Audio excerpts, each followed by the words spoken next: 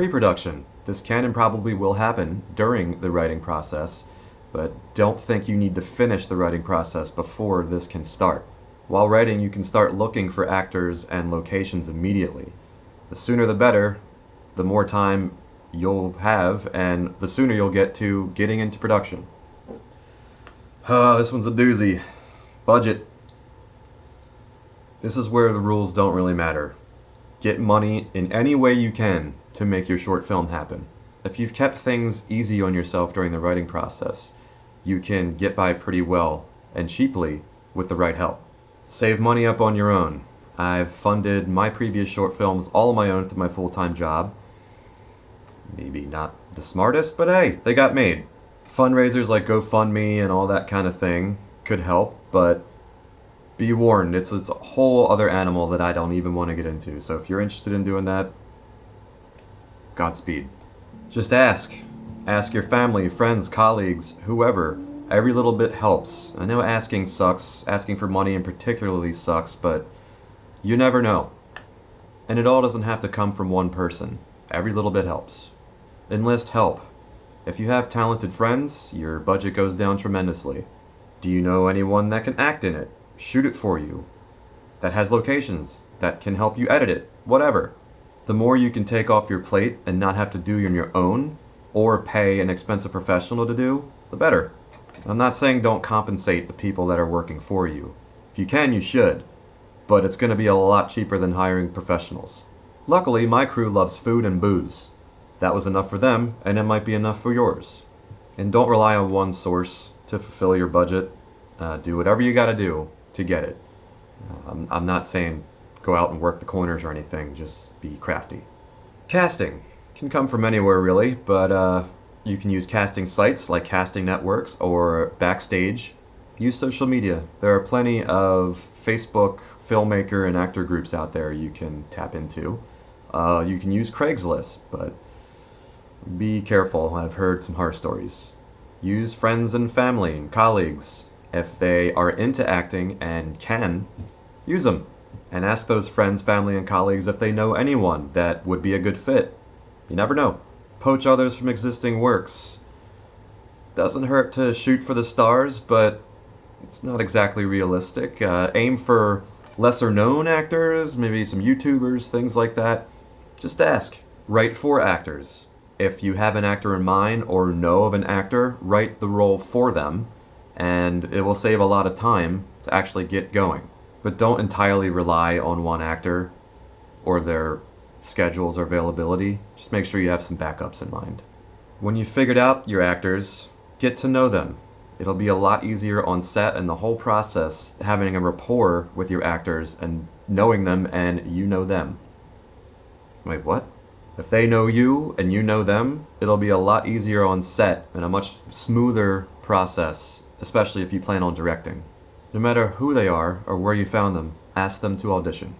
I don't care if Tom Cruise is interested. Ask them to read lines or act out a scene for you. You gotta try before you buy. And it doesn't have to be in person. They can send videos. Just be specific about what you want.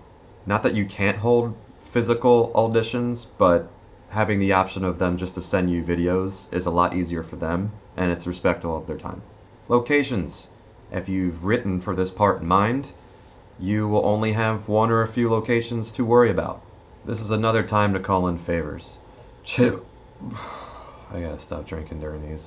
Chances are you know someone that has a house to use or some other location that you need. Like budget, it doesn't hurt to ask. Even in less film friendly towns, there are plenty of businesses out there that are open to having filmmaking happen. Just like asking someone out, the worst thing they can say is no, and then you're right back where you started. A lot of states and cities have film offices with websites where you can easily find locations.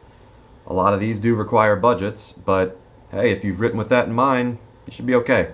And a lot of these are state sanctioned locations that will require production insurance. So that will eat up budget too. So just keep that in mind.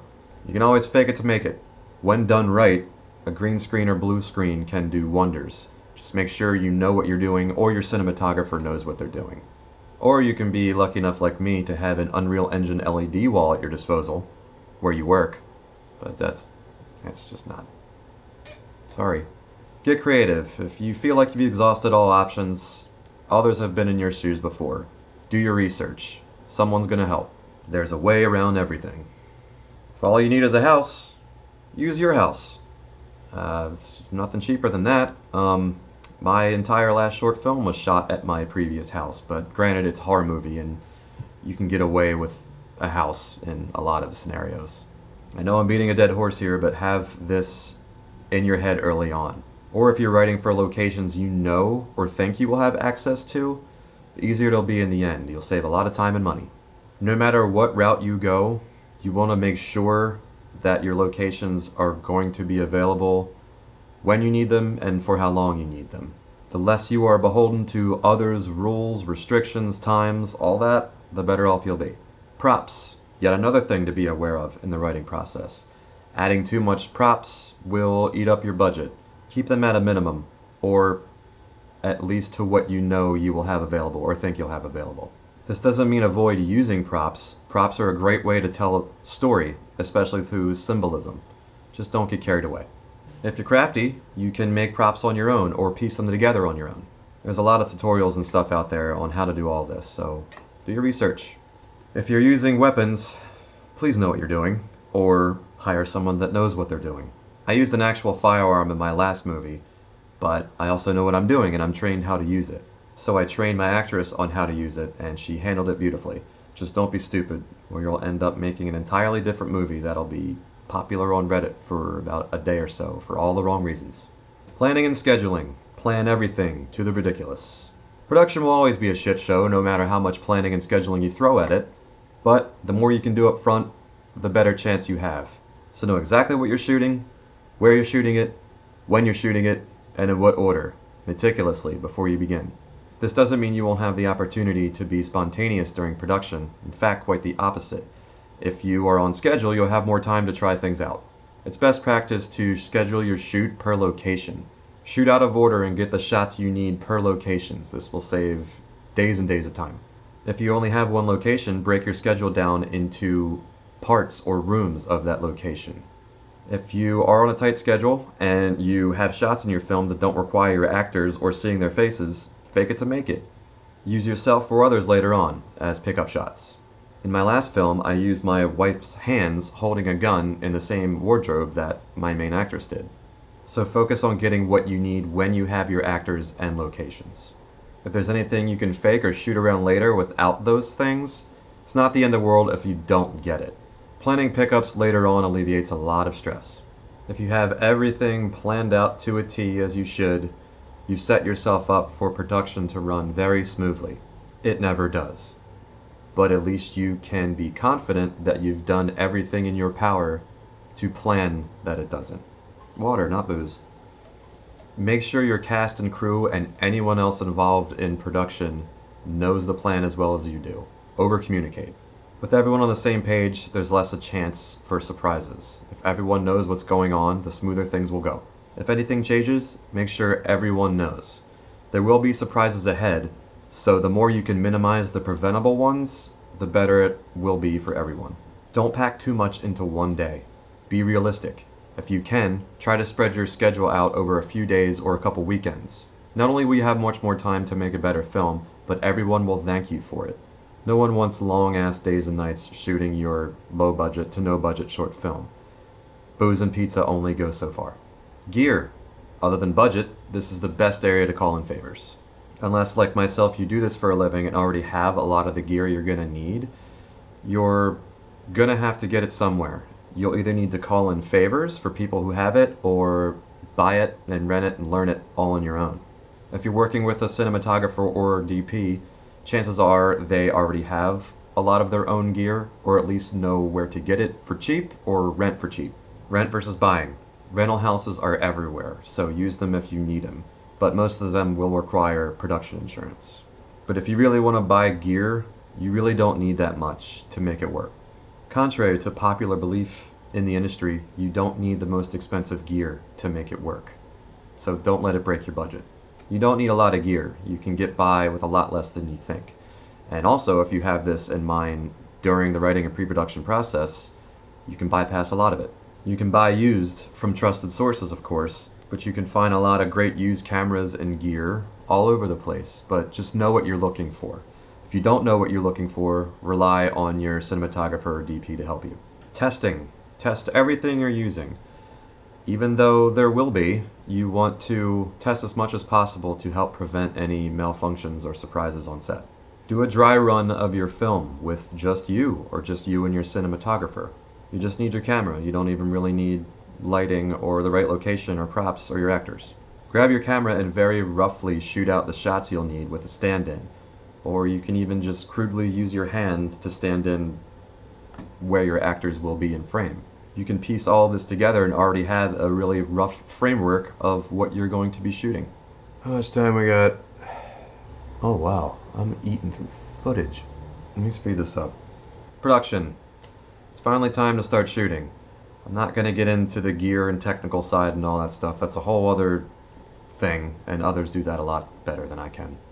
If you've done all the upfront work you need to to prepare, production can be a breeze, but there's always going to be something that comes up. Gear will not work. It's inevitable.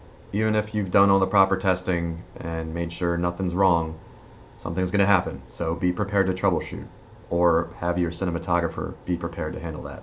Unless your shot really calls for it, you don't need to shoot everything in the highest settings. Unless your shot calls for heavy VFX work, there's really no reason to shoot anything higher than 4K. In fact, most festivals don't even really accept anything higher than that. Shooting in a higher resolution can have its perks and posts if you need to push into a shot or whatever, uh, but if you're doing everything right in production and have everything planned out as you need, that should be minimal and you don't want to break your bank on expensive hard drives or RAIDs or an overly powerful editing machine to handle that footage. Unless you have it already, then shit, go for it. Sound is just as important as image, so don't overlook it or skimp on it. And really, just just hire a sound person. That's that's the best advice I can give you. Or give that job to someone who knows it and wants to do it. Just don't do it yourself, trust me. Bad sound is just as bad as a shitty image. Lighting is everything. Without it, you do not have a movie. Know it and know it well, or have a DP that knows and knows it well. And if you're directing, whatever, it, it can't hurt. Lighting is super important. If you're directing, be sure you know what you want. Even if you're wanting a more collaborative environment during production, you still need to have a command and control of your set to allow that sandbox to happen. Easier, quick, and smooth doesn't necessarily mean better. Not every shot has to be a hill to die on, but if it isn't 100% what you want and you're not happy with it, don't settle. Shoot until you get it, within reason. Don't let a shot of a glass of whiskey sitting on a table wreck your whole schedule. Again, don't wear too many hats. I know a lot of times this is going to be unavoidable, but the more hats you wear, the more things will suffer and fall through the cracks. Even if you can do everything or want to do everything, you'll never do it as well as someone who does just that one thing. If you're directing, it's your job to direct those others to do those things for you. Just like writing, be open to suggestions, thoughts, and criticisms, but always stay true to your vision. Bend, don't break. Always listen to your cast and crew's input, but don't do it just to appease them. You don't want to be a pushover. My cast and crews have had great ideas that have helped my films be better films. Uh, some ideas just aren't doable or aren't aligned with your vision.